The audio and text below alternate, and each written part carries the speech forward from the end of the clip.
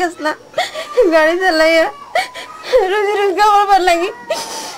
ওখান থেকে আছে আমার স্বামীর মোবাইলে বন্ধ, কি নিখোঁজ আজকে তিন দিন ধরে চার দিন ধরে কোনো খবর নাই। আমি চাই, যে আপনারা সবাই মিললে আমার স্বামীরা জীবিত অবস্থা না দিতা